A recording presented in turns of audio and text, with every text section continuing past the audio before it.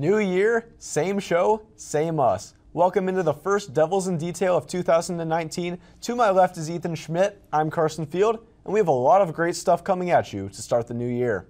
Hope you're attacking those New Year's resolutions, sir. Lots of ASU athletics going on right now. We will break down men's and women's basketball. Men's ice hockey is having its best season ever. Herm Edwards has put in work on the recruiting trail and much more coming your way. To start, I am joined by the man, the myth, Trevor Booth. Trevor, it's been too long. It really has, Carson. It's been a long break, but now I'm glad and we can talk some more basketball together. Yeah, absolutely. After a marquee win against Kansas, things haven't gone so well for ASU basketball. The Sun Devils have dropped three of their last five and are 2 and 2 in Pac 12 play.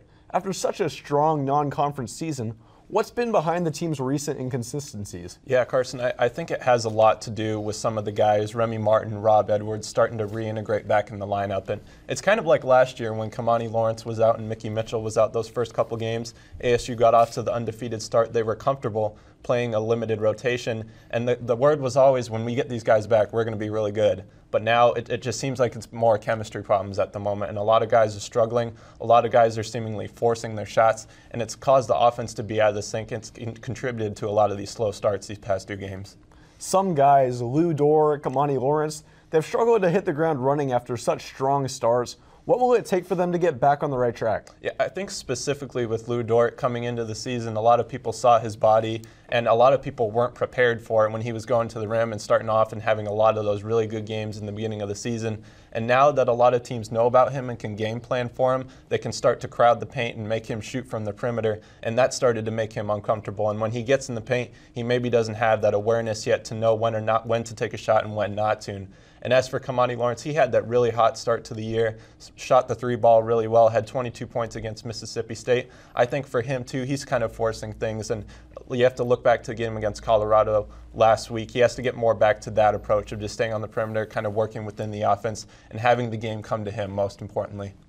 This week, the Sun Devils return to Wells Fargo Arena for a, for a homestand against the Oregon schools. How important is this week for the season's outlook? Yeah, I think it's crucial because now the team is sub 80 in the NCAA tournament rank in the NCAA net rankings, and that doesn't bode well for NCAA tournament hopes. And now that Utah State, that win they had in Las Vegas, they're kind of struggling. That win might not be a quadrant one win for ASU anymore. So they're going to have to hold on and try to put it together in some of these games. And mentally, that that can be tough because the Pac-12 isn't the best conference this year. But they have to get back to playing within themselves and focusing on what they can do rather than opposed all that outside noise.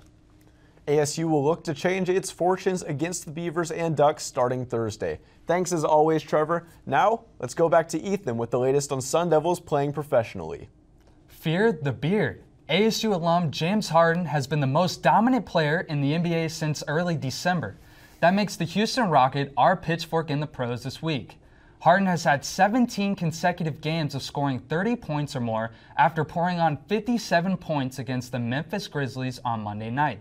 This mark is the most since the NBA ABA merger in 1976.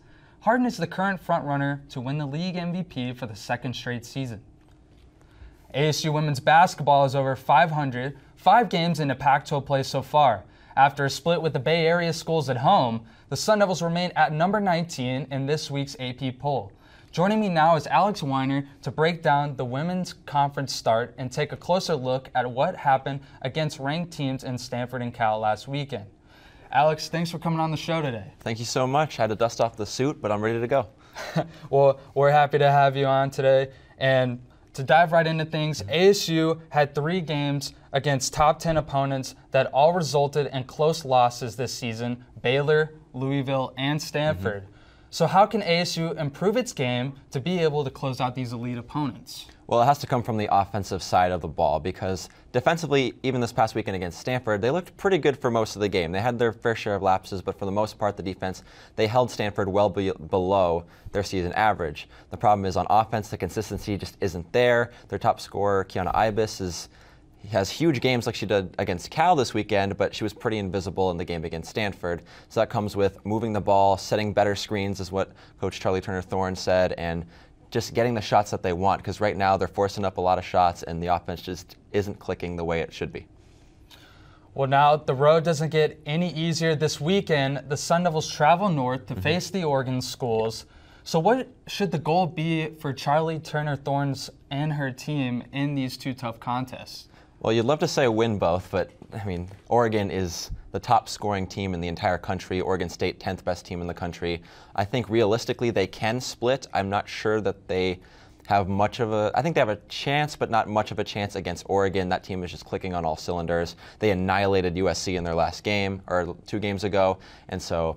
Oregon's going to be a tough challenge. Oregon State, I think, is beatable. They don't have that inside threat, uh, Marie Gulich, that they had last season. And um, if their threes aren't falling the way that they have been this season, I think ASU can take advantage of that and uh, take out Oregon State. Definitely. And you mentioned it. Oregon is a tough squad. The Sun Devils got to go on the road to face them. So as they as they travel north and in this looking further into this Oregon matchup, what's the best chance ASU has at slowing down the best offense in the country?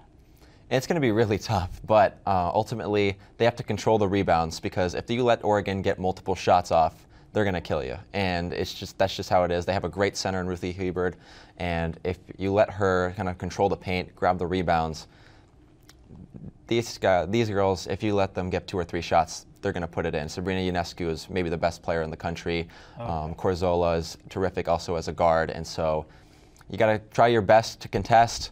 But ultimately, you got to get the rebounds if they miss their shots because they're going to get their shots up. They're just that good.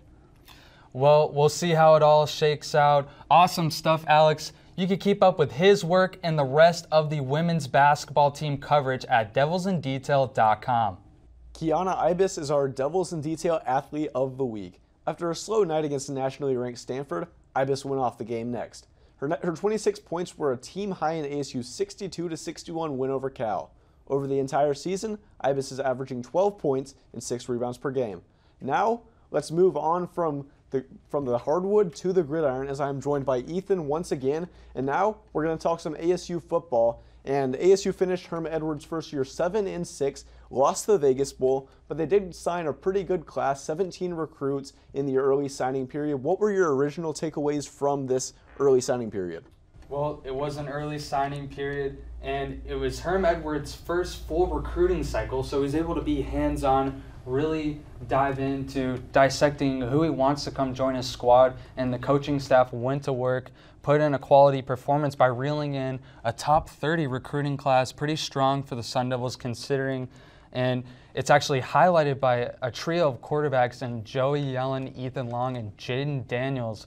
And it's gonna be it's gonna be tight in spring ball as there's going to be realistically four quarterbacks competing for that starting job along with Dylan Sterling Cole.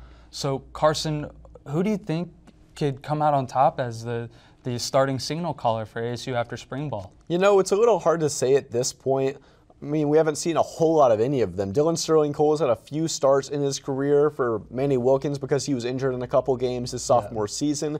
He came in a couple times. Manny Wilkins was shaking up a couple plays here and there, but not mm-hmm. much. We haven't seen a whole lot, and he hasn't been, to be 100% frank, he hasn't been uh, he hasn't been brilliant in any of his time. He's kind of looked inconsistent. A few good balls, but a lot of picks, a lot of bad throws. And I honestly think Jayden Daniels, the number two dual threat quarterback prospect in the nation. I think he will be the starter in the opening game next year. Well, Jayden Daniels definitely looking like somebody that could come on and, and start right away. Yeah, he was he was terrific in the Under Armour All American Bowl. Yep. He was fantastic. He threw a couple touchdown passes, some nice throws. And now, building off of that, let's move on from football. Let's dive right into softball as we are just weeks away from the start of the 2019 season. And head coach Trisha Ford and ASU picked up another player pitcher Samantha Mejia. She is a Fresno State transfer and a much needed piece following G. Juarez's transfer. In 22.2 innings last year, she posted an ERA of .93 and a 3 0 record. Mejia joins a pitching staff of Cielo Mesa, Michaela Santa Cruz, and Abby Anderson.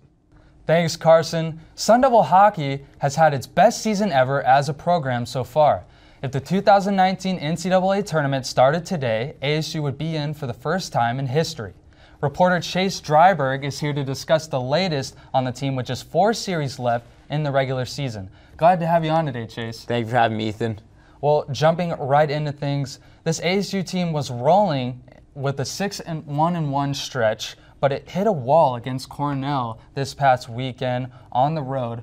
Can you explain what happened to the Sun Devils in New York? Yeah, they just ran into a really hot team in Cornell, and at the end of the day, they didn't play the kind of game that they've been playing all season long where they found success. You know, they, they weren't sticking to the fundamentals like we've talked about all season long. They were really having a lot of problems in their own end, turning pucks over. And also, Joey Daccord just wasn't as good as he usually is.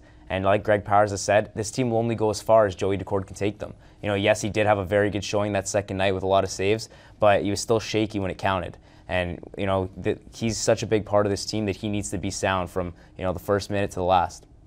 Well, despite a six to one loss on Friday, Joey Daccord still registered 45 saves. And it was a tough series all around for ASU. However, Johnny Walker was able to net yet another goal to extend his total to 19 on the season. That leads the NCAA. So the sophomore how has he been able to have such a knack for finding the back of the net this season? Yeah, Johnny Walker's a very unique player, and you know you don't find many of him in the NCAA or even hockey for that matter. You know he's not the greatest skater out there, but he just has a really good knack for finding the back of the net. You know, especially on that power play that we've seen so many times this year. From that left-hand circle, he's just electric, especially oh, yeah. with that one-timer. So he's a very unique player in, in, with that in mind, and he's just very good knack for finding the back of the net, being the right place, the right time, being able to bang in rebounds. Um, so he's a very big part of this team that they're really going to need down the stretch. Walker has nine power play goals this year, but finally, Chase, the Sun Devils have a bye this week. So, what do you think the team is going to have to improve on as they get the week off and get ready for this final stretch with four series left? They just got to get back to what they've been doing all season long, and that's sticking to the fundamentals like we've talked about. You know, they've got to get the pucks in deep all game long, own puck possession like they've done so much this year. And again, Joey Daccord, he's going to have to be really good for this team. You know, they are playing a few good teams coming up with Boston University and Minnesota on that schedule. Even RIT is not, not, a team that they should be sleeping on. So Joey Daccord is going to have to be really good, and everyone's going to have to play their part in being able to really buy into this team model of getting to the NCAA tournament bid. And if they can play like they have in this first half of the season, I think Arizona State's going to have their first ever NCAA tournament bid. Some great analysis from Chase Dryberg. Thanks for coming on today. You can keep up with all of the latest on ASU hockey at devilsindetail.com. And that's a wrap for today. Thanks for tuning in to the first of many great shows this year. We look forward to having you back. And until next time, check out devilsindetail.com and follow us on Twitter at devils underscore detail.